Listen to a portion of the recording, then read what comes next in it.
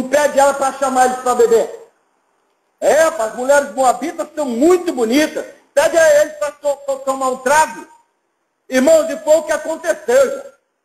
Eles foram beber um pouquinho, daqui a pouco elas começaram a falar da cultura. Da cultura de Moab. Elas falaram assim, vem cá, vocês são israelitas? Somos. A gente também tem o nosso Deus, sabia? Que é nosso. É? Sim. Rapaz, é, ó, é aquele Deus ali. Rapaz, ó, é uma bênção a nossa terra. Você precisa ver, a gente quando oferece sacrifícios a ele, nossa, tá tudo certo. É, é, rapaz, a gente também é abençoado. O que, que vocês acham de vocês virem na nossa missa, no nosso culto? Aí o que acontece? Acontece que está no Salmo 106, verso 28, olha só. Também se juntaram com Baal Peor, Israel, e comeram o sacrifício dos mortos. Assim provocaram a ira com as suas obras. E a peste rebentou entre eles. Irmão, toma muito cuidado, você que serve a Deus. Eu conheci um rapaz que ele servia a Deus espírito em verdade. Mas um dia ele resolveu brincar com Deus, sabe o que aconteceu? Deus mandou praga de formiga dentro da casa dele. Irmão, e a formiga brotava do nada. E ele falou assim, Senhor, me conserto contigo. E quando ele se consertou, não precisava matar as formigas. Era até engraçado olhar, eu estava lá. Ele, é engraçado você ver todas as formigas andando e entrando de novo dentro do buraco. Eu falo isso diante de Deus. Irmão, não queira ter Deus como seu inimigo. Queira ter milhões de demônios como seu inimigo. Agora não queira ter um Deus como o nosso. O que é que diz a Bíblia? Isaías 43, verso 13. Ainda antes que houvesse dia, eu sou. Ninguém há que faça escapar das minhas mãos. Operando eu, quem impedirá? Olha o que diz aqui, porque para Deus não há nada impossível. Se Deus se irá contra o Brasil, quem é que vai livrar o Brasil? Ninguém, irmão. Vai morrer. Deus já fez vários impérios afundados no chão. Se você pegar esses países que existiram antigamente, não existe mais. O próprio Deus destruiu ele.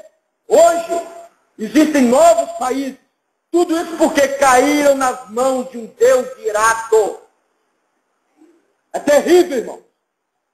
Balaão, ele vai ficar para sempre como aquele que dá mau conselho. Como crentes, irmãos, que hoje em dia dão mau conselho um para o outro. Fala assim, quer ver, ó, aquele irmão tem um ponto fraco. Você quer ver ele perder a comunhão com Deus? Dá uma festa na sua casa, que ele come que é uma benção. Ele vai sair do jejum. Está vendo aquela irmã ali? Você quer quebrar a comunhão com Deus com ela? Dá a ela um vestido igual daquela atriz da novela. Daquele que mostra o tomara que caia. Nossa, ela não resiste. Dá vermelho, que é uma cor vibrante. Você vai ver vai, nossa, vai largar na hora. Vai esquecer até de Jesus. Tem irmão que fala, você está vendo aquele irmão ali? Ele é vaidoso, rapaz.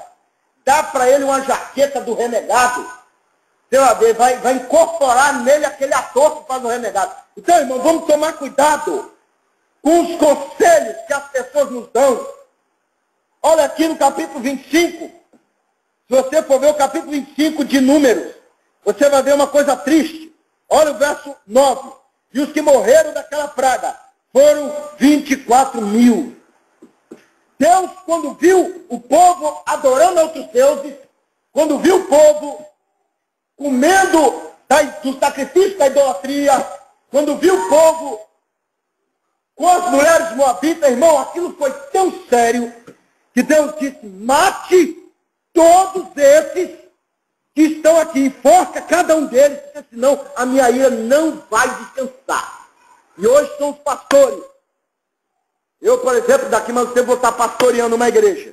Vou ver se hoje com o nosso líder ele vai me deixar estar pastoreando. Irmãos, quando você vê alguém em pecado dentro da igreja, ponha fora da comunhão. Fora! Porque se você não tirar ele da comunhão, a igreja vai pagar por isso. Vai pagar sim. Por isso você vê um monte de igreja, irmão, que ora para expulsar o demônio, o demônio não sai. Ora por um enfermo, o demônio, o, o, a pessoa continua enferma. Aí nós vamos usar aquela célebre desculpa. Deus tem um propósito na sua enfermidade. Quem foi que curou Jó? Foi Deus. E nunca fica curado. Nunca sai o demônio, por quê? Porque Deus não está no ambiente. Irmão, vamos nos preocupar com os balaãos de hoje em dia. Pessoas, irmão, que estão no nosso meio e têm um coração corrupto. Quando Jesus fala de Balaão para a igreja de Tiatira, fala daqueles que colocam tropeços na casa de Deus. Quando Pedro fala de homens como Balaão na casa de Deus, você pega o capítulo 2, segundo Pedro, você vai ver que eles tornam a casa de Deus comércio, que ele faz o povo errar, que eles são, irmãos, como nuvem, que não tem água dentro. Da mesma forma, tem muito pastor, irmão, que tem paletó, tem gravata, tem curso teológico, e ele não tem nada de Deus para te dar. Não tem uma pregação sadia. Não tem cura, não tem avivamento. Você não vê nada de Deus na vida dele. Tem toda a apresentação de um crente, mas não tem nada dele. Então temos que pensar sobre isso, irmão. Que essas pessoas costumam levar o povo de Deus para caminhos escorregadios. Você pega São Mateus 24, versículo 6. Jesus disse que haveria sinais na, no, no mundo religioso. Quais seriam esses sinais? Falsos cristos e falsos profetas. E o que mais nós vemos são crentes que não leem a Bíblia. Crentes como na Rússia. Você vê lá Sergei Turov, um homem irmão, que só na, na, cidade dele, 4 mil pessoas seguem a ele. E quando um pregador estava pregando lá na Rússia, alguém falou, ei, ei, ei, para parar por aí. Nós já temos o nosso Cristo. O que você está falando aí não é verdade. E aqui no Brasil é do mesmo jeito.